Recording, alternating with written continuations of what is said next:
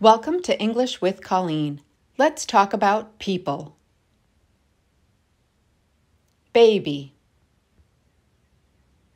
Babies. Girl. Girls. Boy. Boys.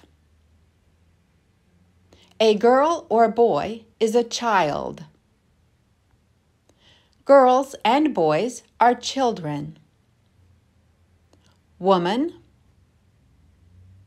women. Man, men. A woman or man is an adult. Women and men are adults. Thank you for watching my video and subscribe to my channel.